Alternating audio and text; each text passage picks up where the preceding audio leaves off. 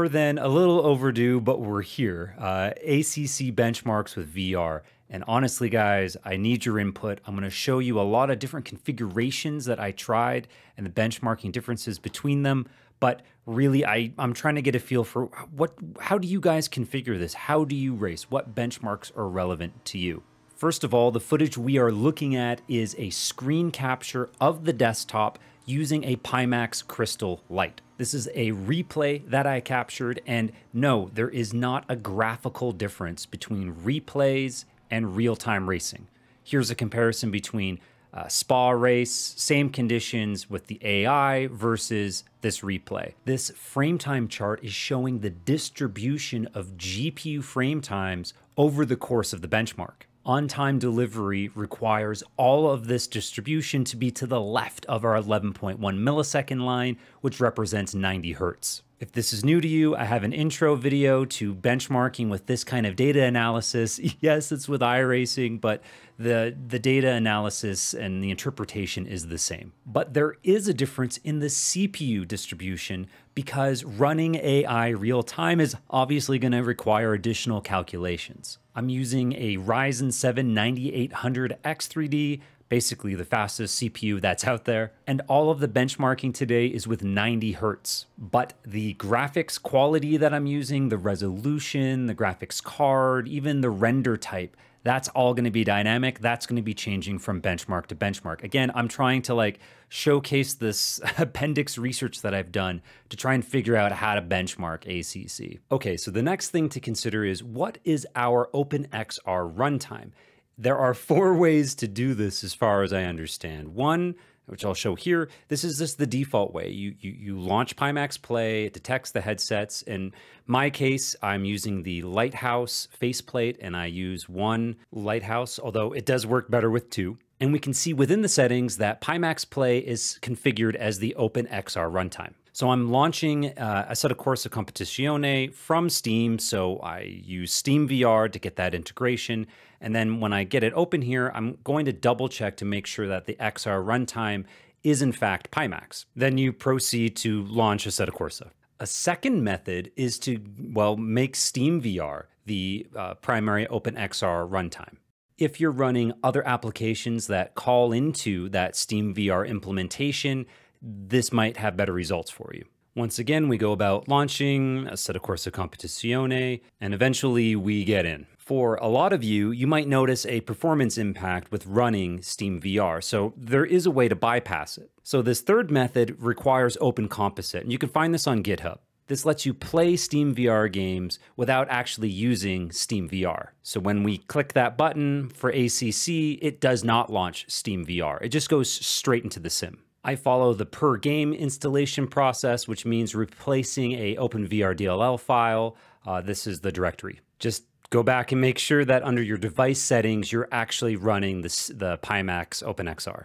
And then when we go launch the sim, we see our launch options. We want Steam VR, but when we click this, it's not actually going to open it. We're just going to go straight into ACC.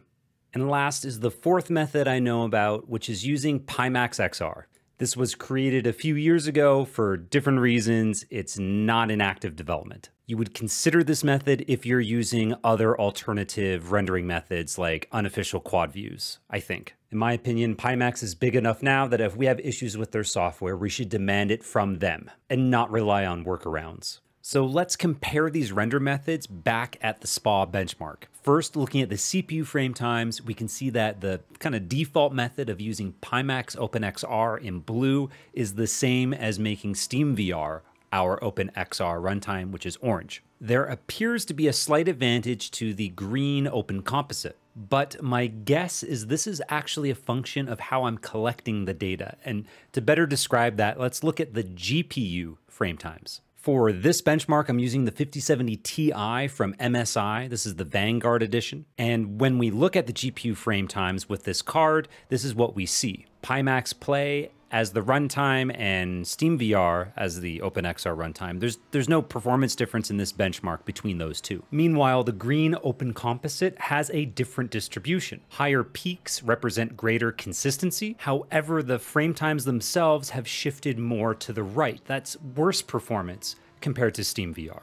But the data collection is different. I used OpenXR Toolkit when I was benchmarking Open Composite. And it has this advanced uh, feature to record high rate statistics. So we're looking at 10 hertz instead of 1 hertz. This means the GPU or CPU frame time are being sampled 10 times every second. My benchmark run is just under three minutes, therefore I have 1600 rows of data. But at this low sample rate, we're unable to see dropped frames or stutters in the data. It's just, we need to know if every frame got, gets delivered, not just a sample of 10 out of every second. That's why I prefer the clarity of data offered by FPS VR, which is a Steam VR only application. It has tighter integration into the Steam VR platform, which is using OpenXR, but we're able to see just higher detailed data. And I think fundamentally that's what's happening here. FPS VR was able to show us slipping past that 11.1 millisecond line, while OpenXR Toolkit, when using high rate statistics, can't quite show that. I mean, we see it going out that way, but not actually crossing the line. And real time in the headset, trying out these different modes, I found the Open Composite stutters to be more jarring, but less frequent.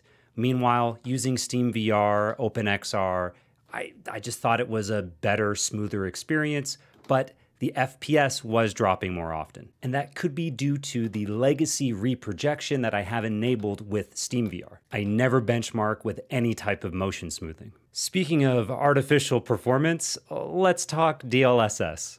Let's go back to the turn 11 sequence, No Name, and Pouhon. This is the full 4K resolution and as it would be displayed inside the Pimax Crystal Light. Looking at the apex, you can clearly see the artifacts behind the cars in front. I'll zoom in and repeat this sequence that you can kind of see the issues that come with DLSS. It's going to muddy and blur the textures at distance, but also create this weird effects around the cars and their motion using a, a high end headset like the Crystal Light and its awesome image clarity, this type of rendering technique, it just ruins that. And this is the latest DLSS offered from Tech Power Up. This is not the included ACC. I went and I got the latest one, I put it in the folder. Uh, I used NVIDIA Inspector to then select and force the latest. And maybe I have done something wrong because performance is worse. Well, actually, it appears better in the CPU frame time chart comparing default DLSS to the latest, but not when we look at the GPU frame times. I used an RTX 5080 for this testing with MSI Shadow 3X, so we've got lots of horsepower here. But I recorded a significant change in the GPU frame times, and not for the better. Running the latest was worse for the frames. Now, granted, the image looked a lot better, and I would not, I don't even think the default DLSS is, is worth considering, but um, the better clarity came with a cost in this case. Maybe I, I made a mistake with my implementation. Uh, if you guys have advice uh, about DLSS, please post a comment below. So if you're looking for higher performance but don't want to deploy something like DLSS, you can try and crop the image. The window displayed on the desktop, that's just part of the story. The full render workload looks more like this. There is a massive resolution difference between that little monitor preview you see on the Windows desktop and what's actually happening inside the headset. And that's just one eye that I'm showing. Keep in mind, with VR, we need two images. The question is, how much performance can we gain by reducing the render? To find out, we need to implement this cropping technique and this will require the third option of running Pimax Play with Open Composite and following this guide. This comes with a big fat warning that it's up to your discretion to download files directly from another user. This DLL file is not signed and could be flagged by an anti-cheat program. If you are a Quest 3 user and have virtual desktop, I also think this most recent update has implemented an FOV adjustment, and that could be more of interest to you. Pimax Play does not offer this feature, so we need the mod. Going back to the SPA replay for our benchmark, here is Blue OpenXR Toolkit, the last and final release from the developer. And then in orange, we have the uh, mod from Onispeed, 138. This is just the baseline with no cropping enabled. I would consider this performance to be identical for the GPU frame times because we're again restricted by the OpenXR toolkit and it only outputting data at 10 Hertz. I had to use OpenComposite because I couldn't get this to work with SteamVR. And now let's apply a modest crop. Uh, 70% is visible from the top and 80% from the bottom. Yes, version 132 of OpenXR Toolkit does have an FOV adjustment feature, however, it has technical shortcomings. So while you do apply it in the same way, you don't get the performance gains.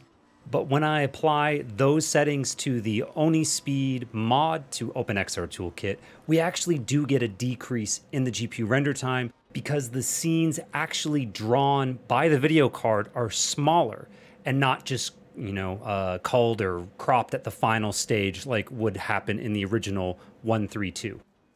And I also did this A-B testing at a higher resolution. Changing the Pimax render resolution in the software to 0.75 increases our resolution to 3232 by 3824 per eye. And if we still just use the OpenXR Toolkit 132 and we try to apply that FOV adjustment, it doesn't really help compared to the significant improvement we get from cropping it using the 138 mod. We've gone from completely missing the mark in blue to actually having some on-time performance with orange.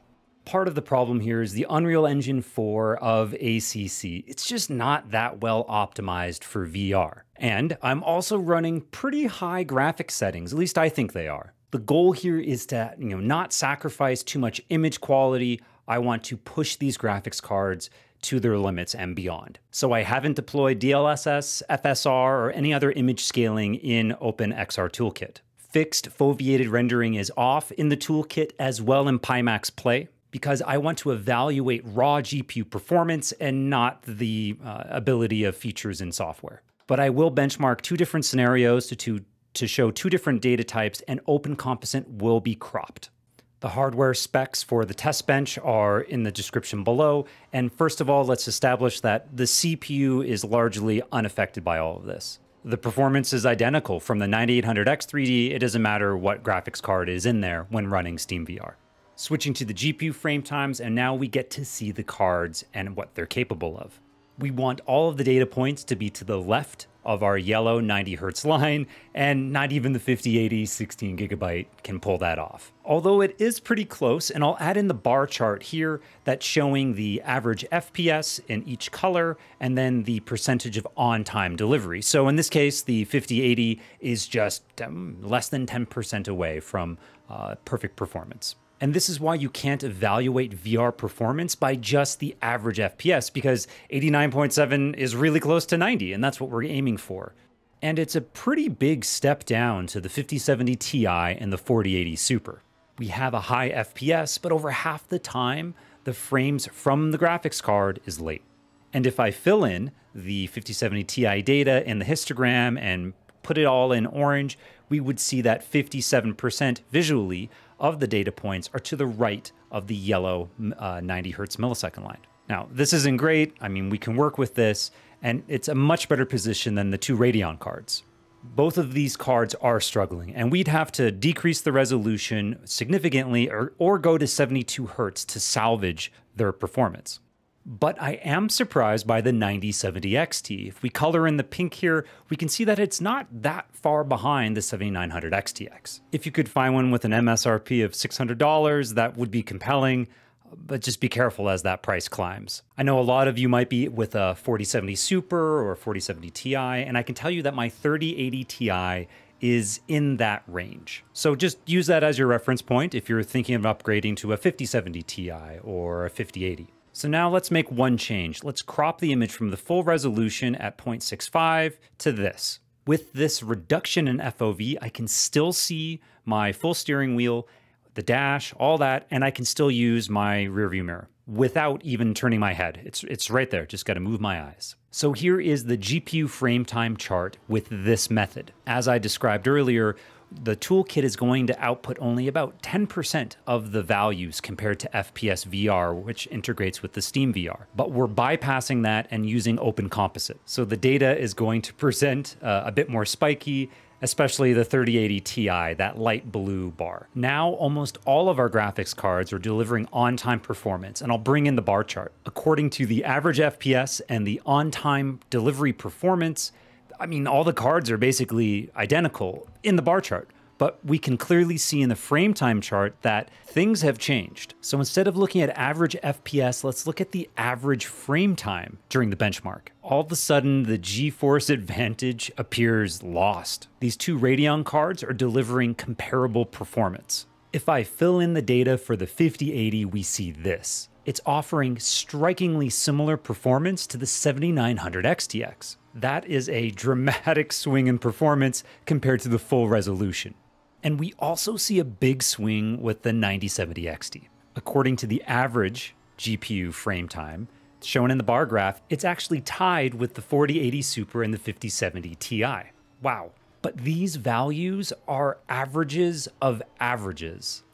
And when you do that, you lose resolution you lose visibility on the quirks of what could be happening. And if we fill in the pink data in the frame time chart, we can see that some of the 9070 XT's performance has slipped past that 11.1 millisecond line. But it is still super close to on time performance, and I think just a couple more tweaks would get us there. So, what's going on here? Why has it all of a sudden been such a big swing in the performance? Earlier in the video, I showed the performance difference between the different rendering methods. And with my test bench, GeForce consistently performs worse when using Open Composite and ACC, even without the cropping.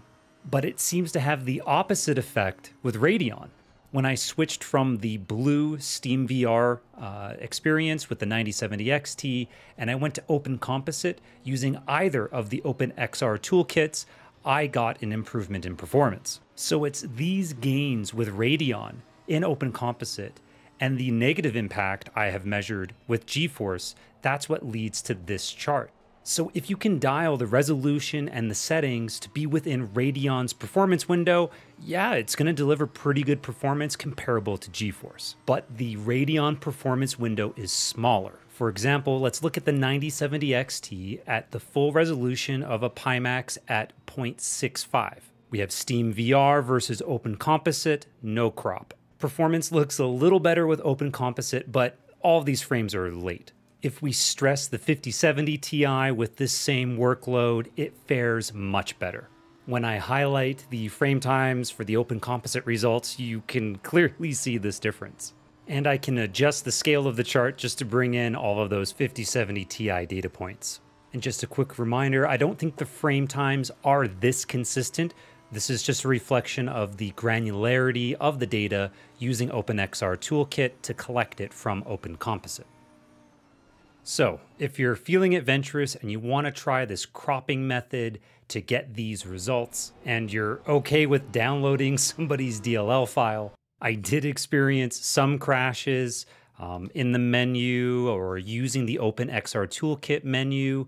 I even had issues where it would kick out of AC and just give me pass through in the headset for some reason. This is why I don't like to benchmark mods. Uh, stuff like this comes up all the time. And considering the amount of hardware I throw at these simulators, I'm bound to run into problems. I would much rather see Pimax integrate this uh, cropping into their software. I mean, it's way easier to do than dynamic foveated rendering or eye tracking. And I am an affiliate with Pimax, so I have a little bit of pull, and I'm going to make that feature request, which I think is a decent enough segue to tell you you can get a 3% discount by using the code benchmark. this was a very complicated video to make. Uh, including all the troubleshooting. I mean, well over 40 hours. So if you uh, can support my channel, uh, buy me a coffee, sign up for the Patreon, um, any of that. I totally appreciate it. Thanks.